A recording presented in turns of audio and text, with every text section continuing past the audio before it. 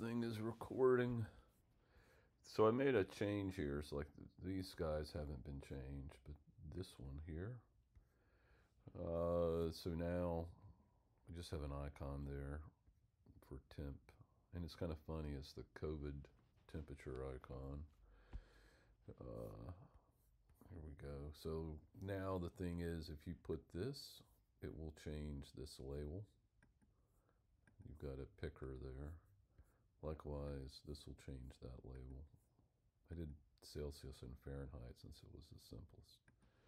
So if I put in something like uh, 21, I think that's really, I like the temperature 20, 68. And I know from when I check my temperature, if I put in 38, I only checked my temperature once, and that was, I knew I was running a temperature. I'm, I doubt I'm running one now. If you put it in Fahrenheit, and we go back to 68, look, let's go this way. 68, it should be like 21, 20. There we go.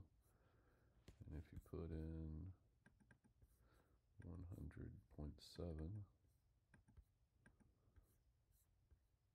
38, yep. And the only thing that I did over here was I changed this output, you know, you know here we go. Uh, possible units, still not using this thing, probably get rid of it. Uh, you've got assuming the input, should probably make that a little better, something like this, so people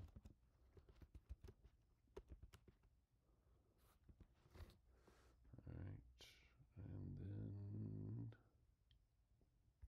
do I input focus stuff? Yep. All right, and that's that.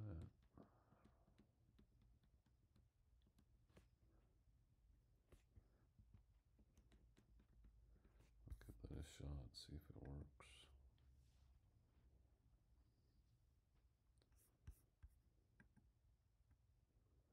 Yep, so now you come in your Celsius to Fahrenheit.